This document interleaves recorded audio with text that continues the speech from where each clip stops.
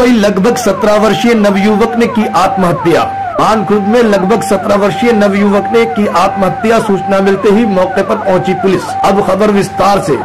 मुंबई मानखुर्द के मंडाला लोहार चाल में लगभग 17 वर्षीय नवयुवक ने की आत्महत्या सूचना मिलते ही मौके पर पहुँची पुलिस।